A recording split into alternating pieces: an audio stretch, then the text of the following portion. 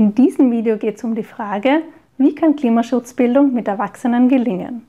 Mein Name ist Marianne Dobner, ich bin Fachtrainerin, Methodenliebhaberin und Bildungsgestalterin und auch Mitgründerin des Vereins Hallo Klima.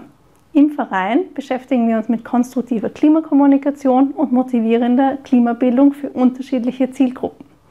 Unsere Mission ist es, Menschen dabei zu unterstützen, vom grünen Denken ins grüne Tun zu kommen und so freut es mich besonders, dass ich ein paar Insights aus meinen Erfahrungen der Klimaschutzbildung aus den letzten Jahren mit Ihnen teilen darf. In diesem Video stelle ich drei Tipps aus meinem Erfahrungsschatz vor. Tipp 1. Problembewusstsein fördern. Hier geht es darum, die wichtigsten Informationen bereitzustellen, um eine Basis zu schaffen für das Problembewusstsein. Worin liegen also die Probleme, die Herausforderungen rund um die Klimakrise und welche Folgen stehen uns bei einem Nichtstun bevor? In der komplexen Welt der Klimaforschung sind folgende fünf Aussagen ganz klar belegt.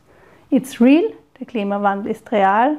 It's us, wir sind die Ursache. It's bad, er ist gefährlich. Experts agree, Fachleute sind sich einig. Und ganz wichtig, there is hope. Es gibt also noch Hoffnung. Und diese Botschaften des US-Kommunikationswissenschaftlers Anthony Leisowitz versuche ich als Trainerin stets begründet zu vermitteln. Und ich möchte noch eine Botschaft des Klimawissenschaftlers Michael Mann ergänzen, der sagt, There's urgency, but there's also agency.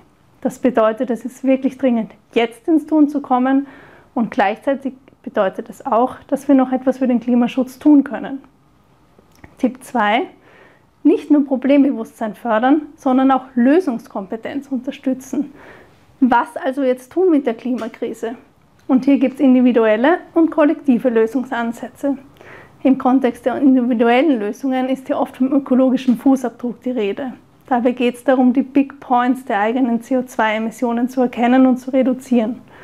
Hier kann es Ziel sein, im Lehr- und Lernsetting nach Handlungsmöglichkeiten zu suchen, die Einzelne in ihren Alltag integrieren können wie kann zum Beispiel öfter der Zug gewählt werden als das Flugzeug?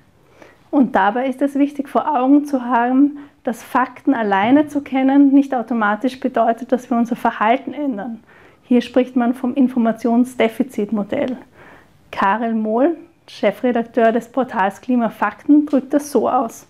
Menschen sind nun mal keine leeren Gefäße, in die man oben Fakten hineinschüttet und unten Verhaltensänderung herauskommt.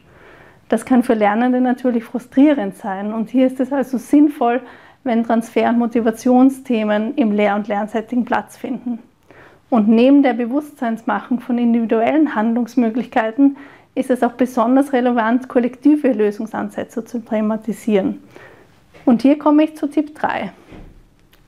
Den ökologischen Fußabdruck und den ökologischen Handabdruck berücksichtigen. Forschungen haben nämlich gezeigt, dass selbst wenn wir alle unseren Fußabdruck berechnen und verkleinern und der notwendige Wandel trotzdem nicht rasch genug gehen wird. Daher muss der Fußabdruck stets mit dem Handabdruck gemeinsam gedacht werden. Handabdruck bedeutet im eigenen Umfeld nachhaltige Strukturen zu schaffen und auch zu fordern, dass andere Menschen nachhaltig leben können, sich zum Beispiel für klimafreundliches Essen in der Kantine einzusetzen. Und hier zeigt meine Erfahrung ganz klar, es braucht ein doppelstrategisches Vorgehen. Fußabdruck und Handabdruck berücksichtigen, wenn es ums Lernen rund um Klimakrise und Klimaschutz geht. Denn wir alle können ja in einem klimaunfreundlichen System nicht perfekt agieren. Wir sind alle Teil eines Systems, das von fossilen Energieträgern abhängig ist. Der Handabdruck nimmt auch den Druck von Individuen, weil das auch bedeutet, es muss nicht perfekt sein. Im Gegenteil, Perfection is Stagnation. Perfektion kann Stillstand bedeuten. Oder, um es mit den Worten von Anne-Marie Bonneau, einer Zero Waste-Expertin, zu sagen, wir brauchen nicht eine Handvoll Leute, die Zero Waste perfekt umsetzen, wir brauchen Millionen von Menschen, die es unperfekt machen. Ja, und das war es auch schon. Ich hoffe, Sie können sich Nützliches für die Praxis mitnehmen. Noch mehr Tipps gibt es in den weiteren Videos und diese finden Sie nach Erscheinen in der Videobeschreibung. Ich hoffe, Ihnen hat das Video gefallen. Falls ja, freue ich mich über einen Like. Vielen Dank und Tschüss.